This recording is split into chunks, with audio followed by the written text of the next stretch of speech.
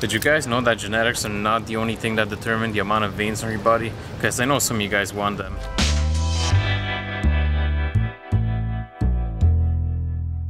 How's it going guys? We're Dominus Athletics. I'm Michael, that is Luigi. And it's funny because a lot of people think that genetics are the only thing that determine the vascularity in your arms, even on your abs and your, your muscles in general. This isn't true at all. People think that the more muscle mass you have on your body, the more veins you're gonna have, but that's not entirely true.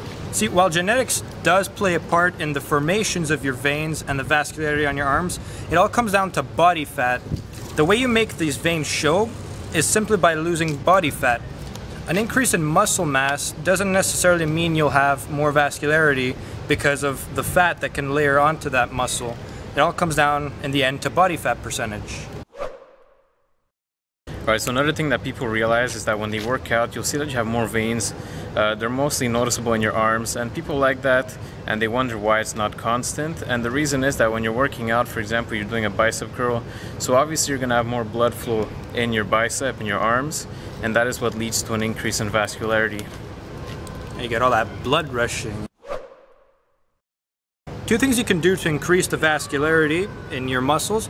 First one would be to uh, consume less sodium because this uh, when you're uh, when you're consuming sodium you're retaining a lot of water and your muscles while they might look fuller they're gonna look less lean and they're gonna have less vascularity on to the next point Alright, so like we said before, body fat has a lot to do with your veins.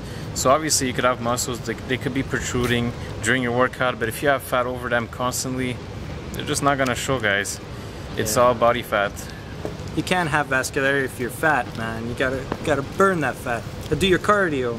Do your damn cardio! Alright guys, if you learned anything, make sure to subscribe to the channel. There's more advice coming to you guys every Monday and Friday.